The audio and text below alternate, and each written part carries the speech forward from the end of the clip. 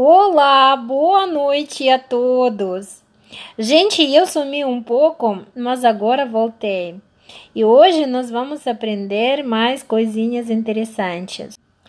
Hoje eu resolvi gravar este vídeo para vocês, onde nós vamos observar a mudança na pronúncia que acontece com letra D em russo. Vamos lá?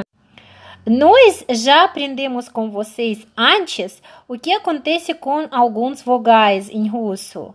Quando o vogal não é tônico, ele muda som para outro. Hoje vamos aprender o que acontece com consoante. Então, vamos lá. A letra D de dado, ela muda som para T de tatu quando ela fica no final da palavra, ou seja, quando a palavra em russo termina com D, tem som de T. Então, vamos lá. A letra D de dado, ela muda som para T de tatu quando ela fica no final da palavra, ou seja, quando a palavra em russo termina com D, tem som de T.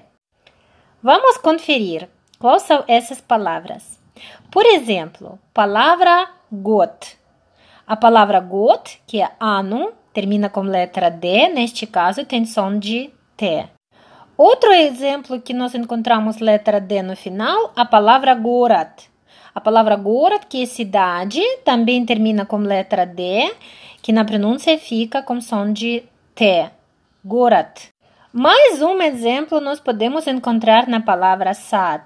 A palavra sad, que significa jardim, e em russo, por escrito, também termina com letra D, que na pronúncia tem som de T. Sad.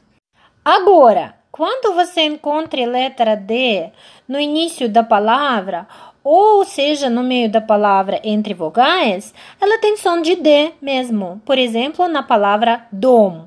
Dom. Outro exemplo, a palavra da. A palavra da, que em português significa sim, também começa com letra D, e neste caso, letra D pronuncia como D mesmo.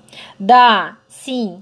E mais um exemplo para hoje, nós encontramos na palavra diriva.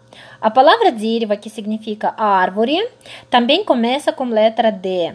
E neste caso, nós temos som de D mesmo. Diriva. Спасибо всем большое за внимание. Agradeço a todos pela atenção. Dúvidas, perguntas, estou online.